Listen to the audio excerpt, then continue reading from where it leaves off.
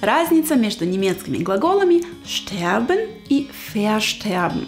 С одной стороны, это синонимы, оба означают умереть, скончаться. Но versterben – это более официально и, так сказать, возвышенно. Когда хочешь сказать о чьей-то смерти с особым уважением. И обычно, когда смерть, э, факт смерти довольно актуален. Например, Leider ist meine Oma diesen Monat verstorben. К сожалению, моя бабушка скончалась в этом месяце. Sterben используется скорее, когда говоришь в настоящем времени. Например, ich sterbe von dieser Hitze. Я умираю от этой жары.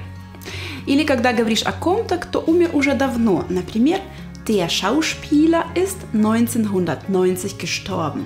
Актер умер в 1990 году. Или когда говорят о причине смерти. Mein Onkel ist an Krebs gestorben. Мой дядя умер от рака.